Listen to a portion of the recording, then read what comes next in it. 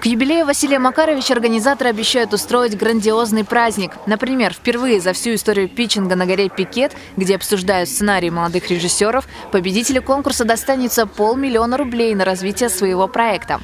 Сростки, Бийск и Барнаул по-прежнему остаются главной артерией праздника. В афише более 50 событий.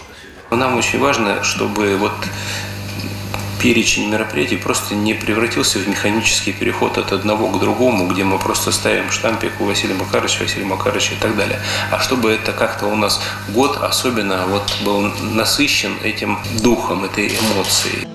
В прошлом году на закрытие Шукшинских дней в Сростки приехало более 20 тысяч человек.